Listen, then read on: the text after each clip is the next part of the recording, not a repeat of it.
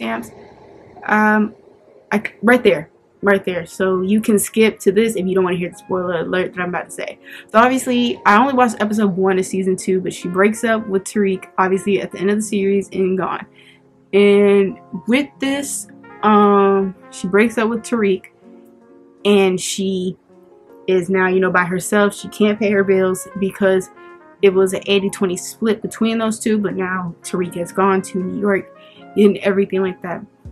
I think with season two, we can expect a little bit more of Janine and Gregory really bonding that relationship now that Janine no longer has that Tariq holding her back. Alright, end of spoiler. So, if you missed the spoiler, that's on you.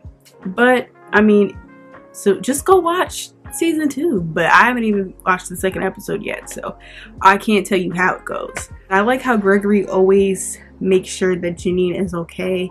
Make sure she's not, because Janine is like that type like I want I need go go go go go she's that go go go go go type of person and you know sometimes Janine really just needs to calm down and I like how Gregory is always there to calm her down and to like look Janine you can't like you need to you need to take a few steps back Janine and I really like that about Gregory and all the kids in Abbott Elementary. My favorite, Courtney. She is so cute. The, act, the little actress that plays Courtney, she's adorable. She's so adorable. But that's pretty much it for my Abbott Elementary review. Obviously, the show is a 10 out of 10. I would recommend it to anyone. Like, I feel like this show is for everybody.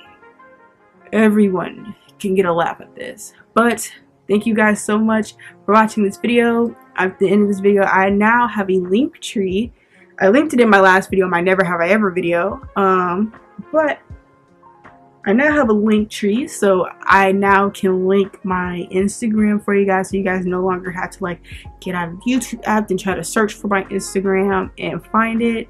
It's hey, just click my link tree and it's right there for you. You click on the link to my Instagram and you follow me on Instagram at xlazandriax. But I really hope you guys like this video like, comment, share, and subscribe. Subscribe mainly. I hope that you have a good day. Bye.